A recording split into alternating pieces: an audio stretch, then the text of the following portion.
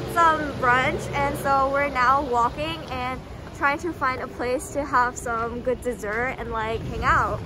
Yeah, so I hope you enjoy watching this video. Bye. So we're here at Paneyagi. Which and yeah, we're gonna just look around and like look at some like sewing stuff and probably get some dessert. Yeah. okay, so um, basically means like it translates into noodle story. And so this place is mostly like they sell some books and like on how to knit and sew and crochet.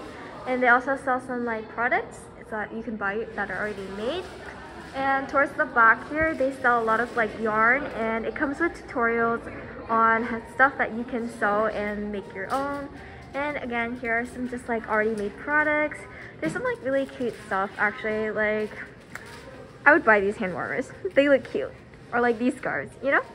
And in the back, again, more yarn. It's pretty big place, but it's actually pretty cool. I'm somebody who can't crochet, knit, sew, any of that, but I still like to look around because it's really fun. Yeah. Here are just some packets of like the different tutorials you can do and like sewing kits they sell. And personally I really like this yarn because it's actually so soft and fluffy. So I've already bought a couple of these. Um, no I have not actually sewn anything because I don't know how but I am planning to learn on it. Look how cute these are. Wait is this a tomato? Oh these are cherries though. What's this? Is it a tomato or like a strawberry? I think it's a tomato. It's a tomato right? Okay these are cute cherries. What's this one? The pineapple. Pineapple. Under the sea. Wait, why is pineapple under the sea? Because SpongeBob. Oh, SpongeBob. I thought of Little Mermaid and I was like, why is pineapple in there? Yeah, anyways, here are some like other products that you can buy that are already made and if you want like each of these has a tag so that you can ask the the store like clerk to help you find it. And then you can make your own version after picking out like the color and type of yarn you want. Modeling. It looks good on you though. They're so fluffy. Look how fluffy these are. It's like a cloud look how nice these are. So fluffy. It's a nice one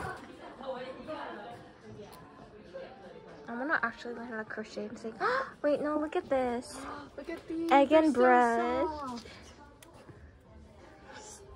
Wait, this is like a Wait, no, this stuff is actually so soft. No, it reminds me of like the, um, you know, like those really trendy like tracksuits. It's that feel. Oh my goodness. We make nice a blanket. Is that toast? Toast. Ooh, look at these flowers. Can make your own. What's this for? Oh, it's a coaster. That's cute. Try it on. Model.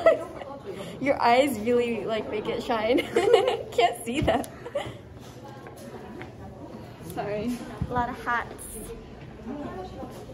Okay, we're gonna go upstairs for some drinks and food now.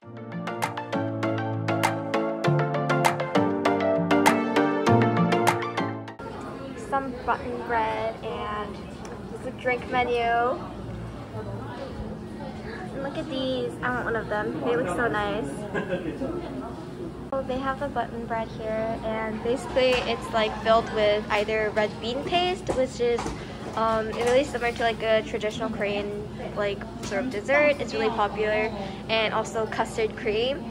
Usually these breads aren't buttons and they're like either fish in the shape of a fish or sometimes in like a walnut shape but they're doing buttons here because it goes with like this whole sewing needle theme. Yeah, it's really cute.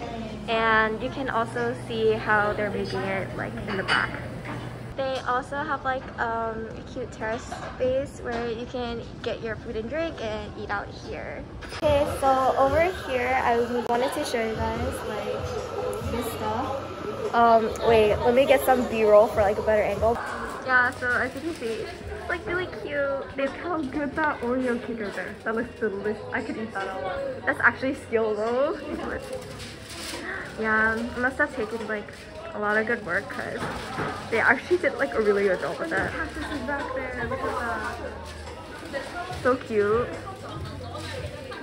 We're sitting away from everybody. They have like a lot of space there in the back.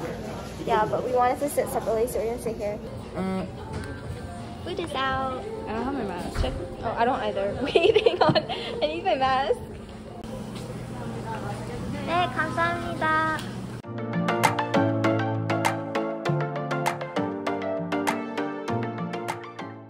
Cheers. I'll stop filming so we can eat. Is that your version of a cheers? they got stuck in between each other. So we finished eating our food and we're heading back out now. Um, overall, I think this place had like, well, you can see yourselves in it. Oh, It was really good, guys. Yeah, it was like good food and also we got to look at a lot of like the knitting and like stuff. Um, even if you're like me and don't know how to crochet or sew or anything fabric related other than you like looking at it, I still recommend it. And yeah, next time I want to try the button bread thing because that's like really similar to like the Korean like traditional like bungeoppang type dessert. And yeah, I'll like explain it later on when I'm editing this video probably, but yeah, it's really cool. So to tell you guys a little bit about the Korean snack bungeoppang, it's basically a fish-shaped pastry where bungeop translates to carpfish and bang means bread.